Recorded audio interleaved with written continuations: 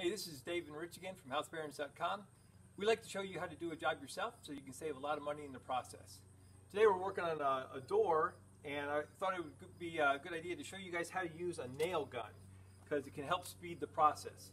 What I have here is a, 18 gauge or 18 gauge brad nailer from DeWalt and uh, we're going to use this to speed our process in assembling the door but uh, if you don't have one of these, or you might want to consider uh, jumping into this uh, arena because they're they're super useful.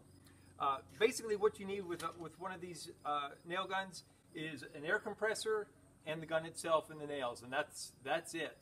Uh, they do now make uh, brad nailers and other nail guns that are battery operated, and saves you from having to deal with the compressor, which is really nice, but they're a lot more expensive. So you have to make that call on your on your own. But so let's get started. we've got these one and a quarter inch brad nails and all you have to do is place them in the gun and slide the door shut and it's loaded. And now before you use the nail gun, you want to put a couple drops of oil in the air inlet and that just lubes the insides. Once you once you've got it all lubed up, we plug the hose on with its coupling and then and we've got all the pressure up. You, this is the gauge that tells how much pressure is in the compressor itself. We're going to dial this back to around 80 70 to 80 and that's enough for this gun to function. Uh, this functions you can do uh, a single nail setting shooting one nail at a time or rapid fire where you would just press this and it would shoot the nail. So we're going to go just one nail at a time. And this board has already been glued. And so now it's just a matter of uh, pressing the nail gun to the board and pull the trigger.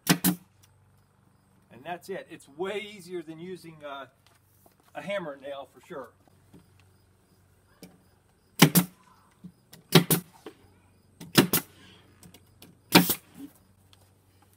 And that's it. Uh, they make nail guns in all different sizes, from little ones, brad nailers like this, with an 18 gauge nail to uh, nail guns that uh, will frame a house. And it all depends on your needs.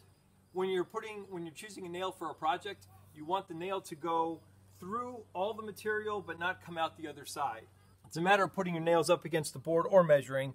And you see this nail, these are one and a quarter, and this is about one and a half total. So I'm going to get if this if this nail goes into the half the meat of this board, then we're good to go. Hope this video helps you uh, if you're considering getting a nail gun. If you got any questions, go ahead and drop us a line and we'll be happy to answer that as soon as we can. If you haven't already subscribed, please do. We've got lots more videos coming. Until next time, thanks a lot for viewing.